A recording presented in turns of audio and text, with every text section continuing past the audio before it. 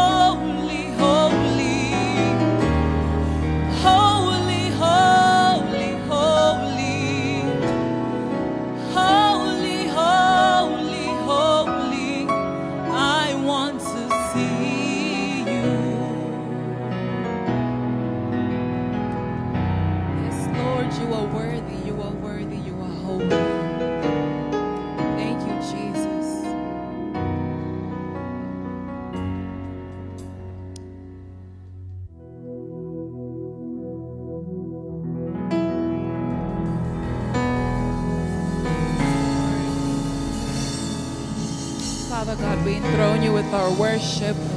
We exalt your mighty name in this place. We say, let your name be lifted up. Let your name be lifted up, O Father.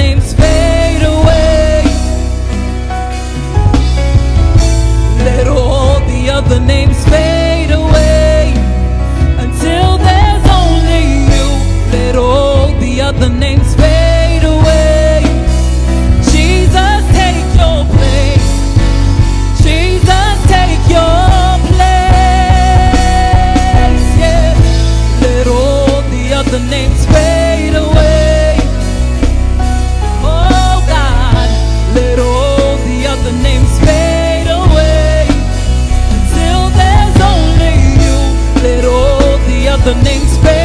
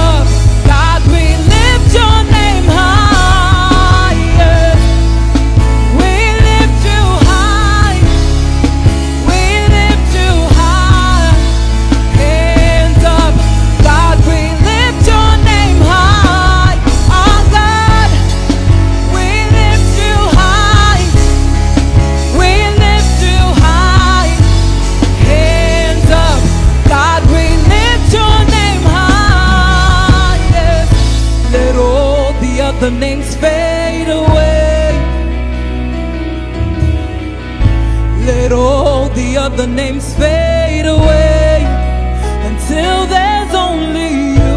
Let all the other names fade away. Jesus, take your place. Jesus, take your place. Yes, let all the other names fade away. Let all the other names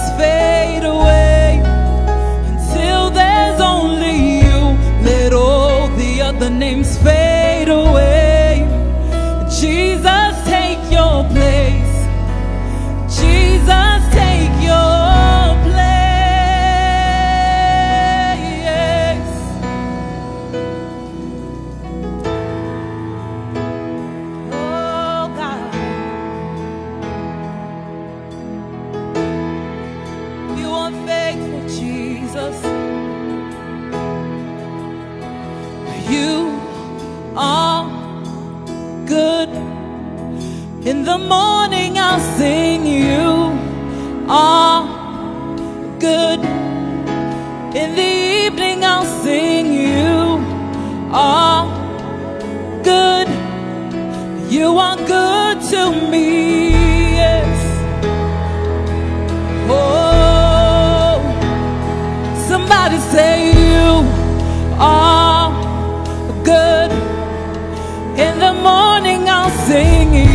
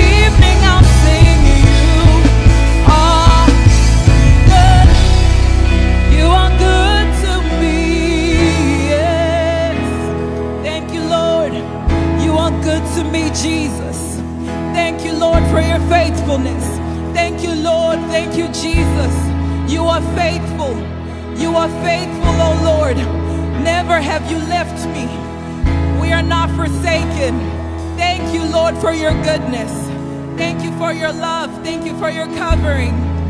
Thank you. Thank you, Jesus.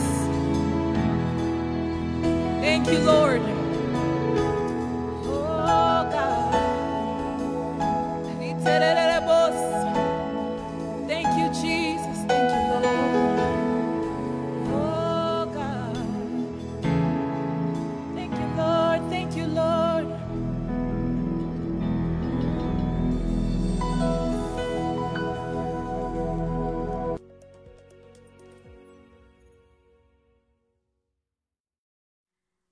Hallelujah. Welcome, welcome, welcome, welcome to our Sunday service.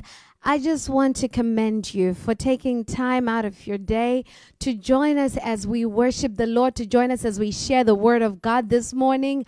I know that there are thousand other places that are pulling you, that are drawing you, but you have been disciplined enough just to come this morning to make sure that you have spent some time in the presence of the Lord. That is commendable. And I just want to encourage you to continue to seek his face. The word of God says, Give unto the Lord the glory due to his name. Worship the Lord in the beauty of holiness. Amen.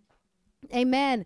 This Sunday is a special Sunday. We have started this year strong. We have started it with an with with a girth and a, a vigor. We are fasting and seeking the Lord's face. And one thing I know is that He is faithful. He is faithful. And when we look for Him, when we seek His face, we're sure to find Him. He is sure to bring revelation upon revelation, glory upon glory, and lifting us from one level to the next. I want to encourage you and just to thank you for the work you've been doing. You've been keeping the work of God going in your giving and in your tithes. I just want to encourage you to continue. When you sow in the house of the Lord, you're sowing where no cankerworms, where there's no moth, where there's no rust that can come upon your wealth.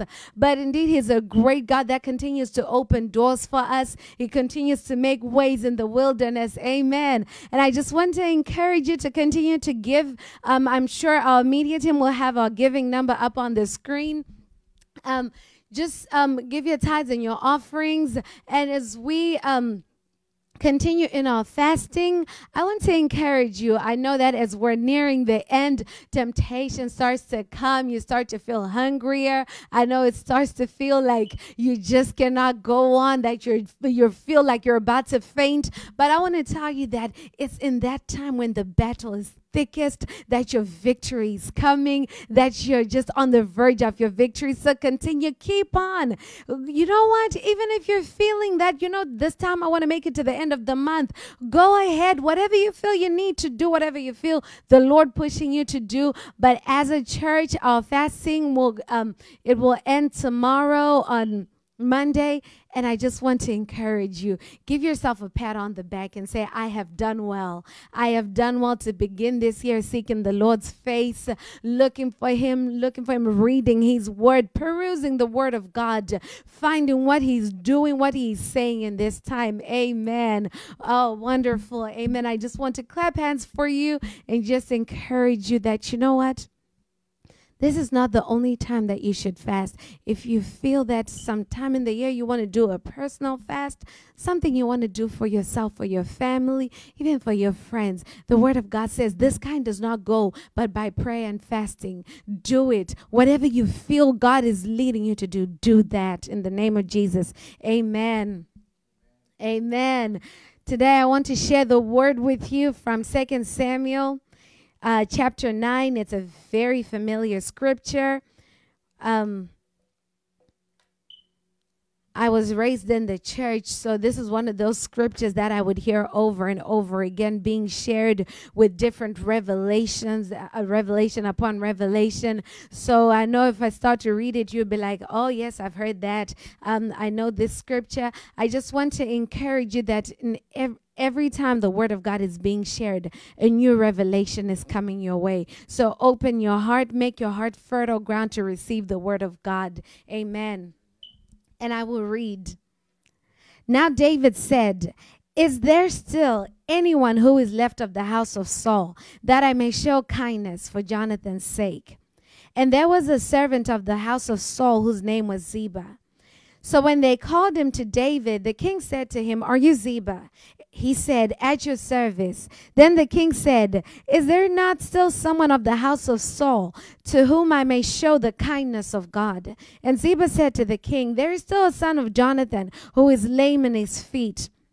So the king said, Where is he? And Ziba said to the king, Indeed, he is in the house of Machir, the son of Ammiel, in Lodebar. Then the king David sent and brought him out of the house of Machir, the son of Ammiel, from Lodebar. Now, when Mephibosheth, the son of Jonathan, the son of Saul, had come to David, he fell on his face, prostrated himself. Then David said, Mephibosheth. And he answered, Here is your servant. So David said, Do not fear. For I will surely show you kindness for Jonathan your father's sake, and will restore to you all the land of Saul your grandfather, and you shall eat bread at my table continually when he bowed himself and said, What is your servant that you should look upon such a dead dog as I? And the king called to Ziba, Saul's servant, and said, I have given to your master's son all that belonged to Saul and to all his house. You therefore and your sons and your servants shall work the land for him, and you shall bring in the harvest, that your master's son may have food to eat. But Mephibosheth, your master's son, shall eat bread at my table always. Amen. I will stop there. Um, Bless the reading of his word. Now let's just pray. Father, I want to thank you for your word, for a word in season. I thank you because your word is sharper than a double edged sword. It pierces that division, that very division between the soul and the spirit, the bone and the marrow. Thank you, Almighty Father, for your word, for speaking to us in this time, for speaking to us in this season, Almighty God. Jehovah, I'm a vessel of clay. Speak through me, Almighty God. Strengthen me, Jehovah. I pray for as I was just reading this word, I was so encouraged. I was very encouraged. I want to speak to a special person today. I want to speak to someone who is in a place of barrenness.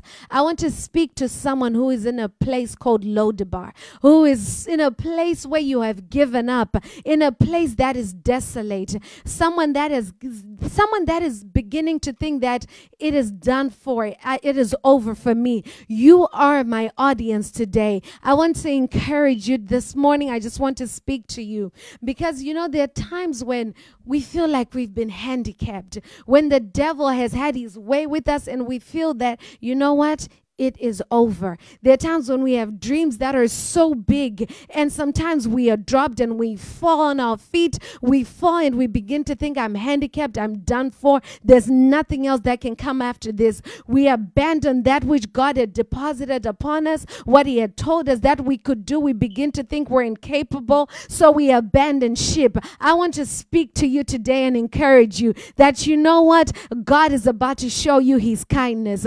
God wants to do something something for you that you had long given up on. God wants to lift you out of a place of barrenness and do something special for you. Even when you're asking yourself that, even a dead dog as I, what is it that my master would want with me? I want to speak to you today and tell you that God has not forgot, uh, forgotten you. He has not abandoned you. He is still on the throne and he still has you in his mind and in his heart. Hallelujah. Hallelujah. Um, I want to begin by talking about Mephibosheth. He was the son of Jonathan, who was the son of Saul. It was no secret what had happened to this uh, to the house of Saul. It, it had been a time where there had been so much strife between David and Saul. Saul had been after David, wanting to kill him. He wanted to do away with him. He was so filled with jealousy. He was like, you know what?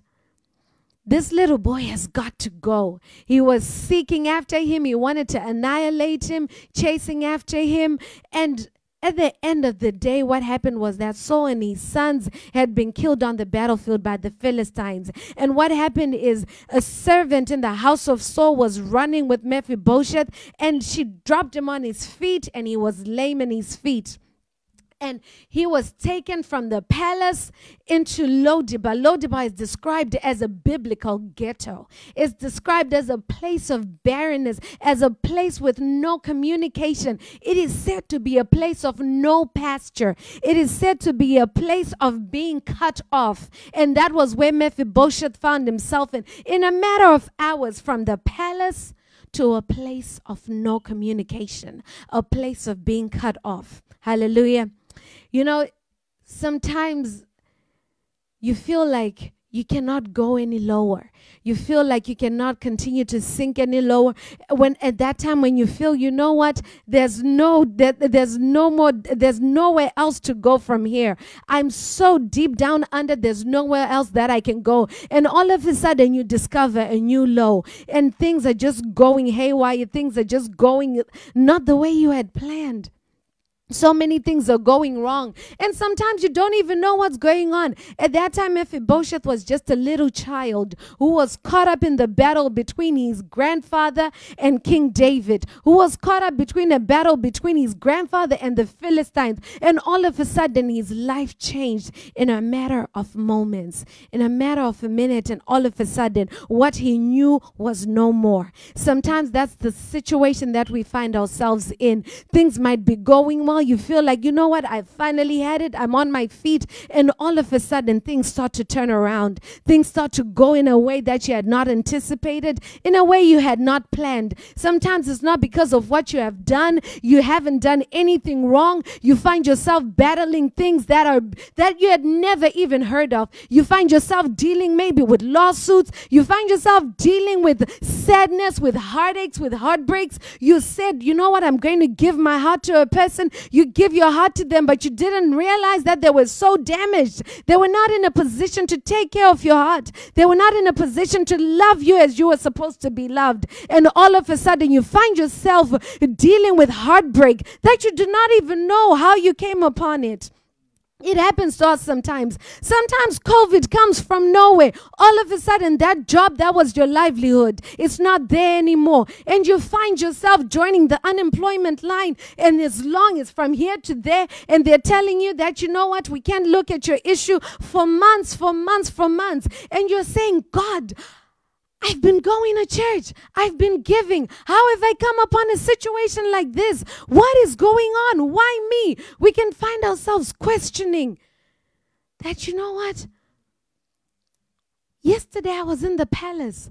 How am I finding myself in Lodebar today? That happens. It happens in our lives. There's circumstances around us. Sometimes it's by our own doing. It's because of the things that we have failed to do. It's because of what we have failed to, to to deal with that was behind us that has come back. It has it has metastasized it has come back to haunt us in our future. And all of a sudden we're from, we've moved from the palace and we find ourselves in Lodebar it's a situation that we face in life sometimes. But I want to tell you something that when God's kindness has come upon you there's nothing that will hold you in a place of barrenness. Nothing can contain you in a place of no communication. Nothing can contain you in a place of being cut off. Hallelujah. I just want you to agree with me today and say, when God's kindness comes upon me, nothing can hold me in a place of being cut off, in a place where I am a nobody, in a place where I'm dealing with poverty, in a place where I'm dealing with my issues of yesterday. When God kindness comes upon you, it lifts you up from a place of Lodebar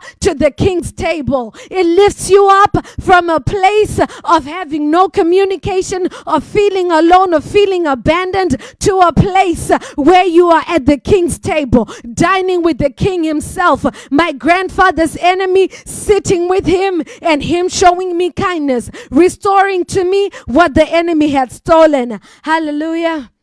Hallelujah. You know, sometimes we find ourselves in that place and it is that place that Jesus saw us in when he said that I'm going to abdicate my throne. Somebody needs to be saved. It was that place of barrenness that Jesus wanted to take us out of. Mephibosheth, when I was reading about it, it means exterminating the idol. It also means from the mouth of shame. I want to share with you today that even as your pastors, we're not immune from situations that are heartbreaking. We're not immune from some situations that tear us down, that keep us up at night. There are situations that start to make us question what God has told us. All these things that He told us when we were, you know, when we were um, getting ready to start the church to launch the ministry. God was speaking and he was telling us that you know i'm going to do this i'm going to do that. But there's situations that we face that, start to make us question that is this really what God had in store for us? Is this really what God told us? Did we hear him right? Is this where he was leading us? But let me tell you something. What the devil does is he begins to lift up some things that want to move, that want to move what God placed, that want to be the idol, that want to remove what God had said, had spoken, that word of God that had been sparing you and moving you, and it wants to move you from that place into into a place of disbelief, in a place of into a place of not trusting, into a place of questioning. Once you enter a place of doubt, then the enemy is saying, Yes, I've had my way with you. But Mephibosheth means exterminating the idol. You know, the word of God says, there is power. There's that power that we have in Jesus, that our weapons are not carnal, but they are mighty in God for the pulling down of strongholds and anything that seeks to exalt itself above the knowledge of the of the Savior of Christ Himself, above knowing what Christ has ordained for us, above knowing what He has spoken to us, above knowing what He has placed in our lives and in our hearts. That's what the that's what the weapons of God are mighty for, pulling down those strongholds. What God had spoken to you about. He has told you some things. You have felt moved to do some things, but the enemy has raised some idols, and those idols are beginning to govern you. They're beginning to tell you that you're too old. They're beginning to tell you that you have failed, that you cannot amount to anything. They're beginning to tell you that nobody in your family has done it. There's nothing special about you. There's nothing peculiar about you. You're just an ordinary being. Those the enemy is starting to raise idols that are bringing you into a place of questioning your identity that are telling you that, you know what? You're in America. Look at what's going on. Look at what's going on in the world. This is not the time for you to say, I want to try this. I want to attempt that. Even if God has spoken to you, you start to say, you know what? Maybe it's not the time. Maybe I'm not adequate. Maybe I'm not enough. Maybe there are better people. Maybe there are more educated people. There are more qualified people that can do this. That is the idolatry that the enemy begins to raise. When you start looking at your, your, your shortcomings and you start to believe them more than you believe the word of God, you start to look at them and you start to uplift them and you start to look at them and say, okay, this is my reality. My reality is that I can no longer do this. My reality is that I'm meant to be a mediocre person. I'm meant to be a person that stays at this certain level. Then you have raised that, you have raised that thing and made it your idol. But like I said, Mephibosheth means exterminating that idol. Because David is a type of Christ. David says, Is there anyone from the house of Saul that I can show God's kindness, that I can show God's mercy? Look, the reason why he said God's kindness is there was there was no smooth transition between the throne of Saul to the throne of David. It was besmirched. It was not, it, it was full of strife, discontentment of disagreement. They were warring, they were arguing. There was nothing smooth about that transition. By all means, those households were meant to be enemies. They were not meant to sit at the same table and dine together. But that's why David says, I want to show the kindness of God. And that is the same situation as us. We were not deserving of his mercy. Lodebar was what we deserved because of where we had come from, because of the things we had done, because of the places we had been, because of the words we had spoken over ourselves. Lodebar was meant to be our inheritance. It was what we were supposed to inherit. It was what we deserved. But God's kindness said, I'm lifting you out of a place of barrenness. I want to put you at the king's table table. I want you to dine with me. I want to give you the earth and all its fullness. I want to lift you up where you deserved a casting down. What I want to do is to lift you up. So others can say there is a casting down. You will say there is a lifting up because I'm showing you a special kindness. I'm showing you my mercy. I have come. I have come so that Lodebar would not be your portion. I've come so that Lodebar would not be your inheritance. But what would be your inheritance is what was my initial plan for you. What was my ultimate plan for you? For you to be heirs with Christ. For you to inherit the earth. What was my plan? Was for you to be the head and not the tail. Was for you to speak a word and your word becomes what you say and your word becomes what you speak. What my plan was was for you to have authority to trample over serpents and scorpions. Therefore I've come to show you kindness. Hallelujah. Hallelujah. Amen. Oh, you know, there are times when I've heard people, I've spoken to a lot of people that come to me and they're saying, you know what, Pastor, I feel that I, I, I can't do this simple things. You know we sit down with people and we're like you know what? There are these jobs apply and someone is like i don't think i can do it. I don't think i'm adequate. I don't think i'm enough. I don't think that i qualify. Yes I don't deny that. I don't deny the desperation of your situation. I don't deny that your situation might be dire. I don't deny that your circumstances might be sad. I don't deny that they may be constraining. I understand, I understand, Mephibosheth, that you were dropped on your feet and from then on you were never able to use your feet. I understand, Mephibosheth, that your situation changed in a matter of moments. I understand that you went from the palace and you went to Lodebar. I understand that you had things taken from you, things that you thought were your livelihood. I understand. I'm not denying that. I'm not denying that you have found yourself in the lowest of lows. I'm not denying it.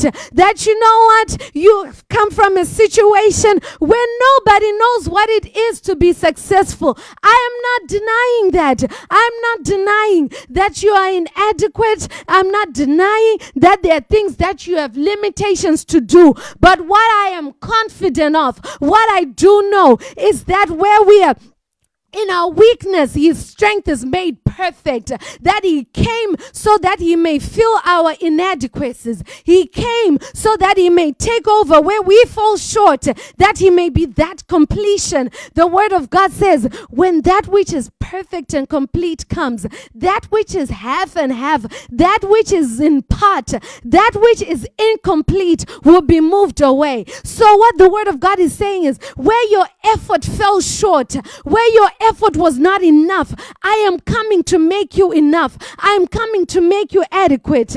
Where your effort was being in the house of Machir, in the house of Machir, yes, you were taken care of. They did the best that they could for you. Yes, you tried it with your own power. Yes, you tried it with what you knew. Yes, you tried it with your own mind and you fell short. But guess what? When the kindness of God comes upon you, when the kind of, of God locates you, it takes you from a place of trying with your own effort. It takes the wrestle out of your blessing. It takes the fighter out of your blessing. It takes the having to strive for it, having to fight for it, having to war for it. It takes it from you and it gives to you that which you do not deserve. It opens doors for you that you had no right to walk through. It opens doors for you to walk through. Oh, before kings and princes lifts you up before before men and men and women of honor, men and women of note. And there you are. There you find yourself because it is the mercy and the kindness of God. Like I said, I'm not denying that the situation can be dire. I don't deny the desperation of the situation. I don't deny your inadequacies. I don't deny my own inadequacies. What I do know is that I serve a God in heaven who said, I am enough, who said, I will not leave you, I will not forsake you, who said, I will war for you, who said, I will train those hands for war. I will train those hands to war. I will train you for battle. Where you feel that you cannot do it, I will come. I will come and and I will make you enough. Oh, he says that I will make you more than a conqueror. It's not about what you can do. It has never been about what you can do. It has never been about what you know. It has never been about what you know. Because what you know could never take you out of Lodebar.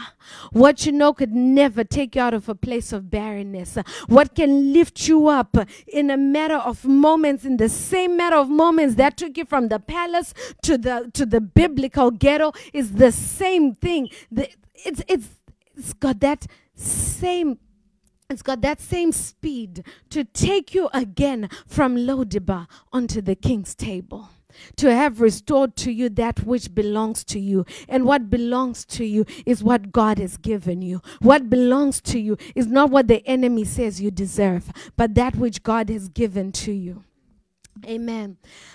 I know sometimes as Christians we have a problem where God is calling us when the king calls you to his house, King David sent servants to call Mephibosheth. They said, Ziba, go and get your master.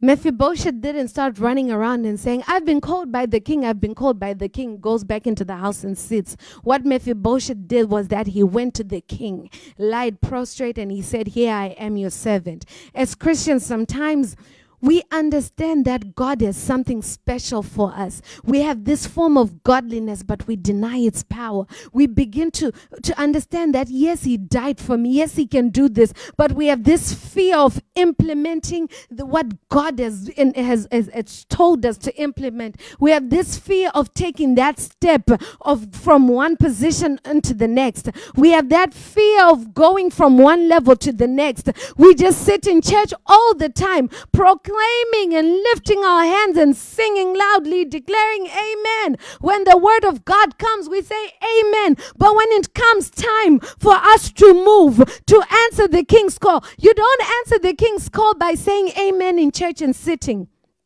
You acknowledge the king's call when you say amen, but you answer it when you go where he commands you to go. You answer it when he does what he tells you to do. When the king calls you, you answer. Like Mephibosheth, you get up however you walk, whether you go in a wheelchair with your crutches, whether you go, whether you crawl there, whatever you need to do. But when the king calls, you answer. Because when you answer the king, there's a, there's a blessing that comes with that. What, what happens when you answer the king is that he'll say, sit at my table. He will send servants to till your fields. He will send servants to work for you. He will restore to you the lands that had, that you had not even owned to begin with. Mephibosheth was just a little boy when Saul when Saul died. You see, Saul died in such desperate circumstances that he was asking his servant, Kill me, he said. And the servant said, No, I can't do that. So he fell on his own sword. That's how desperate the situation of Saul was. And Mephibosheth, that's what he knew to go from a place of having all these servants serving you of kingship, of princeship, of uh, uh, maybe he stood to be the next king. He was next in line for the throne after Jonathan, whatever it was. And all of a sudden he found himself in that place. But you know what? When God says it is time, when God says it is time, when He says get up from your slumber, when He says I'm calling you out of Lodebar, you walk out of Lodebar. The word of God, as we were as the men of uh, one of the men of God was sharing this week, he says, "You speak." You speak it. You don't just receive it. When you hear that there's a lifting, it says, where others say there's a casting down, we say there is a lifting up by the power of the words of our mouth, by the power of our actions, by the power of our deeds. What we do should show that we have been called out of Lodebar. We have been called out of that place of barrenness. We have been called out of that place of being cut off, and we are made new. Hallelujah. Amen. Amen.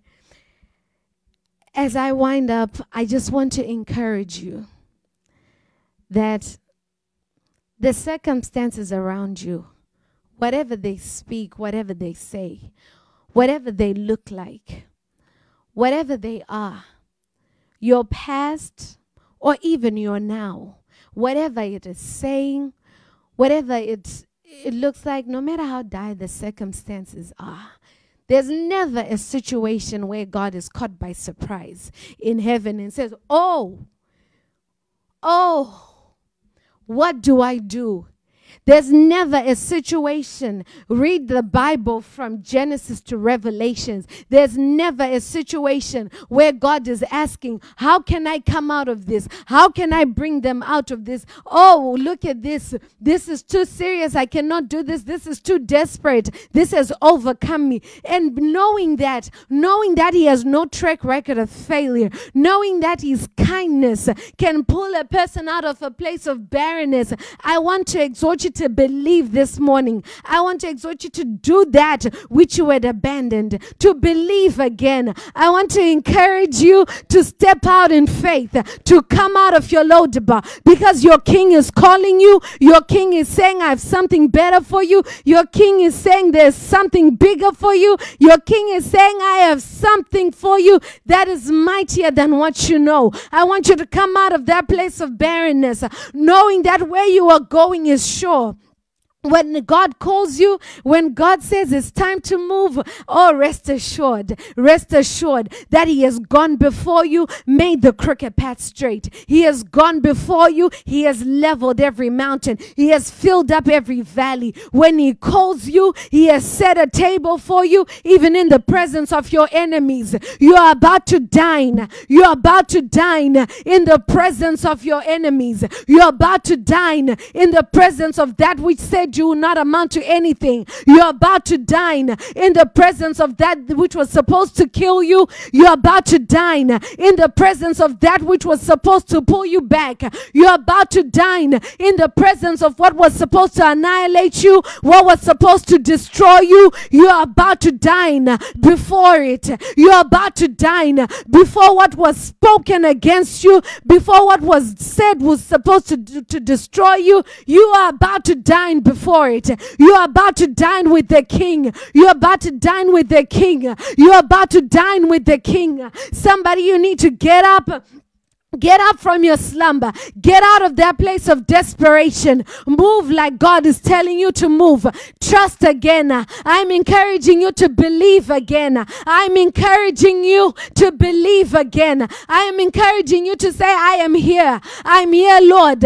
I'm here. Show me your kindness. Show me your mercy. Show me your goodness. Oh, I'm encouraging you to get up from your slumber, to get up from where you were lying down. Get out of that corner where you are feeling sorry for yourself. Get out of that corner where you have told yourself that it is over. Get out of your corner. Take out that book of your dreams. Take it out. Begin to write in it again. Begin to re strategize.